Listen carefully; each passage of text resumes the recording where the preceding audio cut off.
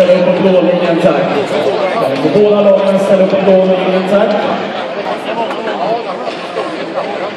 Vi ska ha en liten ceremoni på isen och jag lämnar över micken till Kaj Jensen ifrån Bil Support.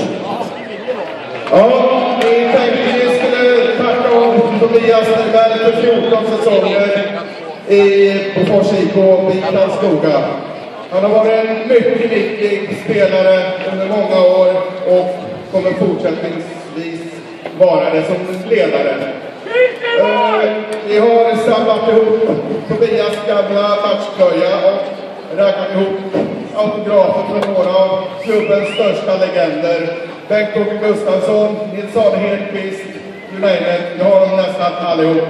Och så en tavla, en snygg tavla, som han får också. Vi, vi tackar Tobias för en rungande applåd.